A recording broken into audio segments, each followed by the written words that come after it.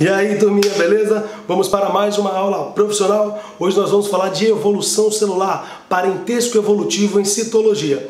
Em primeiro lugar, veja que eu tenho três modelos de célula aqui atrás. Eu tenho a célula procariótica, que é a bactéria, tem a célula eucariótica animal e a célula eucariótica vegetal. Parece uma aula besta, mas com essa aula a gente vai responder um monte de questão. Evolução está no conteúdo inteiro de biologia e isso vai facilitar a nossa vida. Vamos pegar primeiro a bactéria. Veja que ela tem essa estrutura aqui, que é a membrana plasmática. A célula eucariótica animal tem membrana plasmática e a vegetal também tem membrana plasmática. O que, que eu estou querendo dizer, pessoal? Que a membrana plasmática é uma estrutura universal no mundo vivo. Ela tem constituição lipoproteica, mesma composição em todos eles, ok? A mesma função que a permeabilidade seletiva está presente em todos os grupos. Isso significa o quê? Que ela deve ter surgido na história da vida de acordo com o princípio da parcimônia. Ela surgiu uma vez só e é compartilhada por todos os grupos. Esse é um caso de irradiação ou de divergência adaptativa e serve para estabelecer grau de parentesco evolutivo. Eu posso afirmar que todos os seres vivos que existem neste planeta estão aparentados porque eles apresentam a membrana plasmática. Quer outro exemplo? Quer? Não insista. Vamos pegar outra estrutura universal. Outra estrutura universal que você já sabe é o ribossomo. Não botei aqui o ribossomo, dei mole. Vou botar agora. Vou botar agora. Tá aí. Olha aí, olha aí. Pronto, botei agora. O ribossomo é uma estrutura universal. Todos os seres vivos apresentam o ribossomo, todos os ribossomos apresentam a mesma composição, porque todos eles são de RNA, todos eles fazem síntese de proteínas, o que indica que ele deve ter surgido na história da vida apenas uma vez e é compartilhada por todos os grupos. Logo, o ribossomo serve para estabelecer grau de parentesco evolutivo.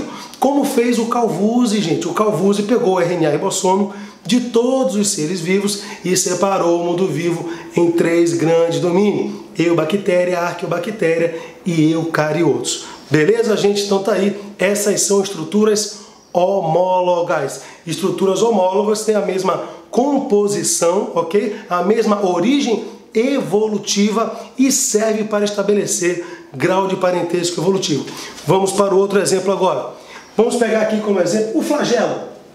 O flagelo bacteriano é feito de uma proteína chamada de flagelina. Nos eucariotos, o centríolo dará origem, está aqui o centríolo, dará origem a um flagelo. Um flagelo feito de microtúbulos e o microtúbulo é constituído de tubulina. Na bactéria, flagelina. Nos eucariotos, tubulina. Veja que a composição é diferente. Eles surgiram independentemente na história da vida, mas convergiram para a mesma função. Qual é a função? Locomoção. Até o movimento é diferente, porque o movimento nos eucariotos é em forma de S e nas bactérias o movimento é assim, como um propulsor.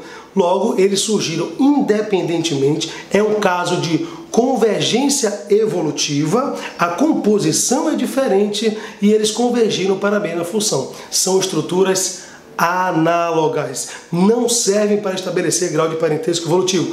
Eu não posso dizer que uma bactéria é parente de uma célula cariótica porque tem um flagelo.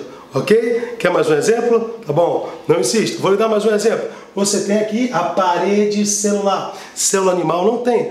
Parede está em protista, fungo e planta. E algumas algas, protista, né? Que são as algas. Então, ó, você tem na célula vegetal a parede de celulose, na bactéria é de peptídeo glicano e no fungo é de um açúcar chamado de quitina. Então observe que a composição é diferente. A composição é diferente, logo a origem também será diferente. Mas as paredes celulares convergiram para a mesma função que é da resistência a essa célula. Ela não vai estourar por qualquer coisa. Então, origem diferente, composição diferente, convergiram para a mesma função. É convergência adaptativa, mas eu não posso dizer que uma planta é parente de um fungo, que é parente de uma bactéria por causa da parede celular. Tá? Vai pegando esse traquejo aí, que isso aí vai explicar um monte de coisa em biologia, tá bom? Se você gostou do vídeo, dá uma curtida. Se não gostou, problema seu.